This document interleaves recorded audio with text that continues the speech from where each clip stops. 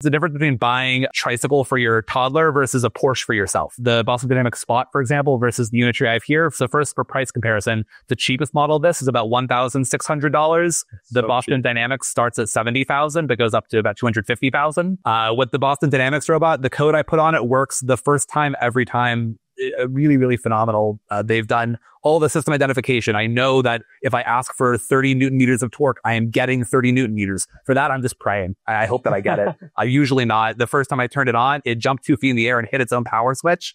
I, I wish I had a video of it. I, it sounds crazy, but it, it short circuited and hit itself, turned itself off.